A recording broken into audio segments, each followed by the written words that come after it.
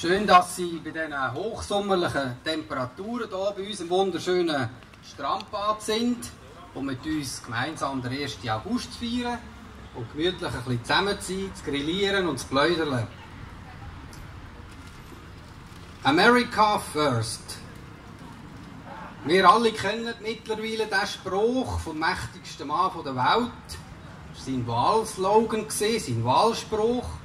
Und er nützt den immer noch heute wieder, fast bei jeder Gelegenheit, einer von diesen wenigen Versprechen, die der amerikanische Präsident wirklich einhält. Und das Versprechen hat es in sich. Laut Wikipedia ist es nicht nur ein politischer Slogan, sondern auch eine grundsätzliche Denkweise. Sie beinhaltet Isolation und Protektionismus, keine Interventionen, sich nicht einmischen. Wenn kleine, unbedeutende Länder oder andere Einrichtungen nach dieser Prämisse leben und handeln, kann das die Welt gut verkraften. Aber wenn die grösste und wichtigste Weltmacht nach dieser Formel lebt, haben wir ein Problem. Größe und Macht verpflichtet und nicht jedermann ist in der Lage, auf dieser Ebene zu steuern, Vorgaben zu machen und zu sagen, wo die Reise angeht. Die USA kann das. Aber mit dem Spruch America First wendet sie sich von dieser Berufung ab und schauen nur noch für sich. Das Verhalten hat mindestens zwei Probleme. In der Regel wird das Vakuum, das sich aus einer so einer Passivität ergibt, durch andere ausgefüllt. Steht uns eine Ablösung von der USA als Weltmacht bevor? Und wenn ja, durch wer?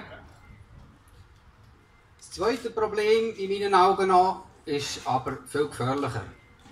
Aktuell weisen die USA mit dieser Denkweise beachtenswerte Resultate und Zahlen aus. Ob die tatsächlich korrekt sind oder ob sie in die bekannte Kategorie der Fake News gehören, lasse ich einmal hier im Raum stehen. Aber immerhin wird, werden die Ergebnisse aus dieser Strategie immer wieder erwähnt und als Rechtfertigung benutzt. Warum nicht also auf den Zug aufspringen und das grandiose Erfolgsmodell auch anwenden, quasi Copy-Paste? Auch hier bei uns nur noch zuerst für sich schauen. Die Schweiz zuerst, der Kanton Luzern zuerst, Sorsi zuerst, meine Familie zuerst und ich zuerst. Egoismus in Reinkultur als Erfolgsmodell. Und Amerika zeigt, es geht ja recht gut. Rekord in der im Wirtschaftswachstum, Rekord in den tiefen Arbeitslosenzahlen, Rekord beim privaten Konsum. Die Liste lässt sich beliebig fortsetzen. Also warum nicht auch bei uns? Und in der Tat, auch wir haben diverse Ansätze, die wir erkennen können. Parteien mit isolatonischem und protektionistischem Gedankengut florieren. Dass dabei der freie Handel leidet, interessiert nicht. Teile der Landwirtschaft, die ihre Probleme mit Zoll- und Grenzschutz lösen wollen. Wer hier dabei die Verlierer sind, interessiert nicht. Prämienzahler, sei das von Krankenkassen, AHV, IV oder anderen Errungenschaften von unserem Schweizer Sozialwerk, sind immer weniger bereit, solidarisch den Beitrag zu zahlen.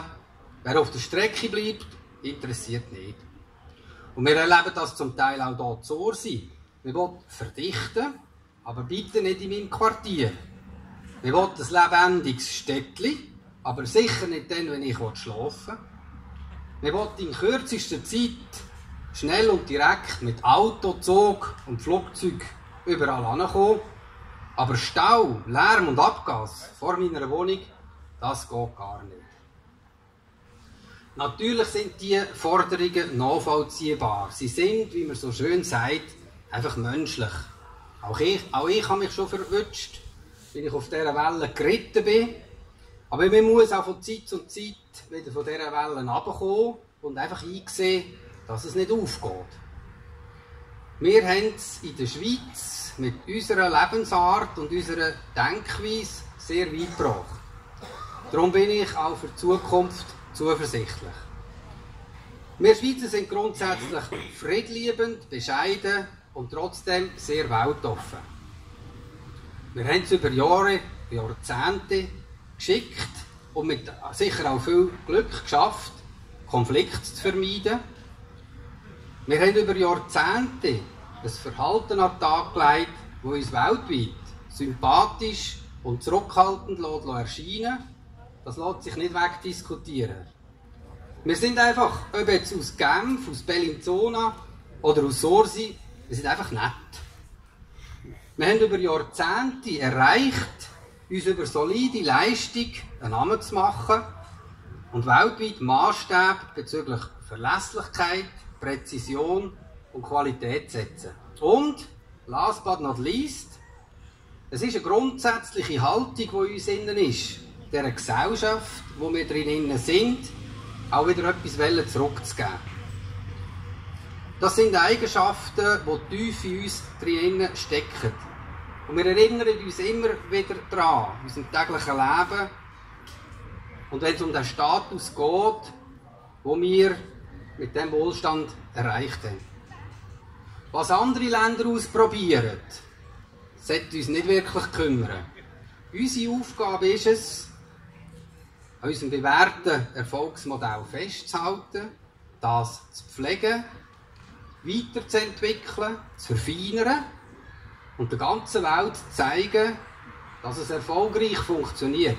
Ohne Isolation, ohne Protektionismus und ohne egoistisches Verhalten. Und ich bin überzeugt, mit dem Vorleben von dem Modell werden wir immer wieder beachtet und der eine oder der andere, der am Umschauen ist wegen Kopieren, wird unser Werk beachten, wo wir seit Jahrhunderten erfolgreich gehen und wir uns daran orientieren. Bewährt pflegen und verfeinern, offen und grosszügig sein und sich fürs Gemeinwohl einsetzen. In dem Sinn ganz einen schönen 1. August. Merci vielmals.